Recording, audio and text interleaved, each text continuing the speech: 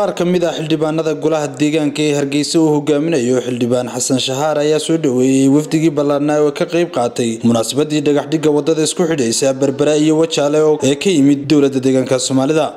Anigoo ku hadlaya afka maayarka caasimadda hargeysa mudane cabdiraxmaan maxamuud caydiid. Ahna xildhibaan golaha deegaanka ah waxaan leeyahay soo dhowaada wafdigan ballaadhan. Ayaanu ku marti qaadnay caasimaddii somalilan hargeysa.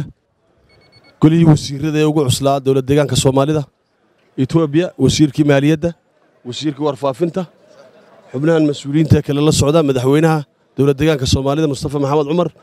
Aad baan idinku soo dhoweynaya abtayaal caasimadiinnii magaaladiinnii yah somalilan halkii ugu mudnayd howl qaran baad yaad maanta ayaa ka qayb qaadateen. Insha allahu tacaala waxay noqon doontaa mid xusuusteeda reebta isku socodka shacbigeenna iyo ganacsigeenna iyo horumarkeenna.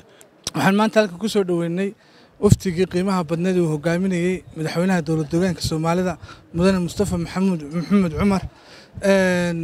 Hadda waxaa nala jooga wasiirka wasaaradda maaliyadda wasiirka xafiiska maaliyadda dowlad deegaanka mubashar iyo wasiirka wasaaradda warfaafinta ahna afhayeenka xukuumadda dowlad deegaanka marka waan ku soo dhoweynaynaa waddankiina waddankiinnii baa timaadeen waxay noola joogaa. Dee madaxda etoobiya ka socota waad aragtaa. Ciidamada soomaalida etoobiya aad iyo aad bay u mahadsan yihiin waddankoodii bay yimaadeen. Maanta xaflad aad u qiimo badan baa dhacday oo dee tii maalintii dhoweyd madaxweynaha iyaga somalilan ay ku soo wada hadleen xagga federaalka. Daadejintii baa la wadaa. Aad iyo aad baannu ugu faraxsannahay. Yar iyo weyn dadka somalilan joogaa maanta in soomaalidii etoobiyana maanta maamul hoos loo daadejiyo maadaama aan isku deegaannahay. Hadday tahay security wax allaaliya wax etoobiya aan wadagelayno. Ee aanaan soomaalida etoobiyana baartirnar ka hayna waxba kama soconayaan.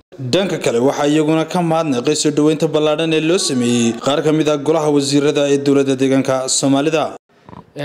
Cid kasta oo danaynaysa in deegaankayaga ay horumar ka qayb qaadato xagga dhaqaalaha hadday tahay xagga maalgashiga hadday tahay.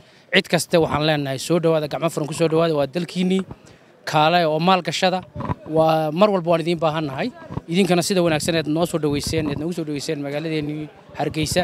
Aad iyo aad baan idinka mahadnaqaynaa inaan iska kaashanno maaragtay waxyaabo waaweyn waxaan nahay laba bulsho laba qowmiyadood ma nihin laakiin waxaan nahay dad isku mida oo aragti dhaqaale dhaqan iyo arrimo bulshoba wadaagna. Xadka unbaa ina kala qaybiyey mooyaane laba bulsho oo aan sinaba u kala maarmayn baan nahay. Sida aad la socotaanba dowladda etoobiya waa dowlad aad u weyn waa dad boqoliyo labaatan milyan ku dhadhow. Oo hadda la filaya inay intaas gaadhi doonaan.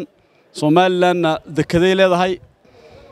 Suuqa ugu weyn ee somalilan ku tiirsan tahay waxaa weeyaan suuqa etoobiya annaga oo soomaali ah oo dhaqan iyo hiddo iyo walaaltinimo iyo kalgacayl iyo diin iyo wax walba idinla wadaagna waan idiin dhaxaynaa.